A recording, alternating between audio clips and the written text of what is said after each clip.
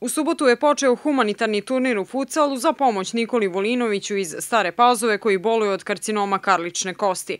Na turnir pod nazivom Koliko volim, toliko vredim prijavilo se 18 ekipa, a na otvaranju je bio i Nikola Volinović koga smo pitali kako se osjeća i kako napreduje lečenje. Mnogo bolje nego ranije, hvala Bogu. A, karcinom da, smanjuje se, pre jedno 2-3 meseca bilo je to smanjenje do 30% na kardici, ali pošto je prošlo toliko vremena, verovatno je sada to manje. Konkretno ne znamo tačno koliko, ali verovatno jeste dosta smanjen. U svakom slučaju, meni je bitno da se ja dobro osjećam i da imam toliko podršku još uvek. Ovaj, nadam se da će stvarno imati. Evo već par meseci unazad u Staroj Pazovi se organizuju kako koncerti, žurke, evo sad i humanitarni turniri. Kako ti to sve komentariš? Pa verujte mi, nema reči koja bi to opisala. Stvarno, ja sam presrećen što imam takve ljude pored sebe. Bez njih definitivno ne bi bilo ovako kako je. Ovo je za mene stvarno super.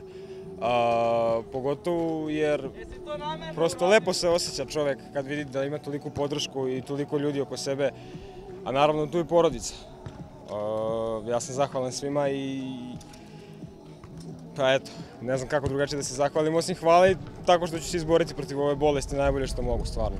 Organizatori i inicijatori turnira su Nikolini prijatelji Nemanja Urban i Nikola Ćulaja, koji su, kako su nam rekli, prezadovoljni brojem prijavljenih ekipa i samom organizacijom turnira. Veoma spontana ideja Nikole, ja sam se tu priključio jer je zaista interesantna i mislim da je velika, velika stvar to što ćemo mi učiniti, ne samo nas dvojice, mnogo ljudi, mi smo samo tako reći pokrenuli ceo taj lanac koji vuče dalje celu ovu priču, celu ovu manifestaciju tako spontana priča na futbalu, hoćemo li pomoći, na koji način možemo, već neko vreme nema futbalskih dešavanja u Staroj Pazovi, pa smo došli na tu ideju da malo zanimamo ljude, uspud da budemo humani i da pomognemo Nikoli na taj način. Pomoć u organizovanju turnira pružile su brojne privatne firme iz Stare Pazove, kao i mesna zajednica Stara Pazova, futbolski klub Jedinstvo i radiotelevizija Stara Pazova, a zbog velikog interesovanja ekipa turnir je nastavljen i danas. Diskont pića trio je donirao neke, kako se zove, piće, dao osveženja za igrače, tako da klub je donirao lopte na, na sve moguće načine smo nekako uspeli da, da dođemo do potrebnih sredstava, tako da i odazov ekipa koji se u kratkom jako periodu posljednjih dana prijavio nismo očekivali zaista toliko, jesmo dosta očekivali, ali ne ovoliko, tako da ono, zadovolji smo.